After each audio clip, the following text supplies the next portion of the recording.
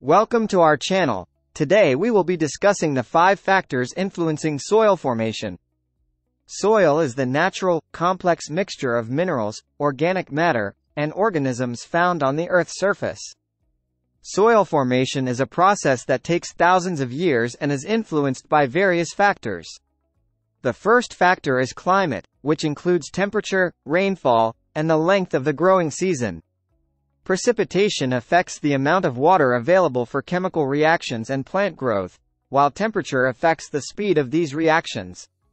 The second factor is parent material, which refers to the rocks and minerals that weather and break down to form soil.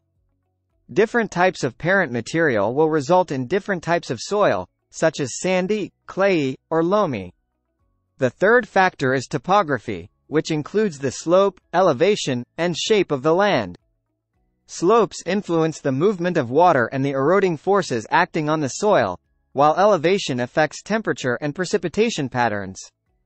The fourth factor is organisms, including plants, animals, and microorganisms, which play a vital role in the formation and health of soil.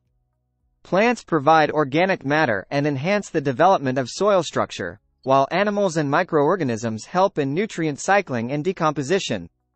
The fifth and final factor is time, as soil formation is a slow and continuous process that requires centuries or even millennia. Over time, the effects of climate, parent material, topography, and organisms accumulate to shape and transform the soil. By understanding these five factors, we can gain valuable insights into the diverse characteristics and properties of soil. Soil scientists study these factors to improve agricultural practices, preserve soil quality, and protect the environment.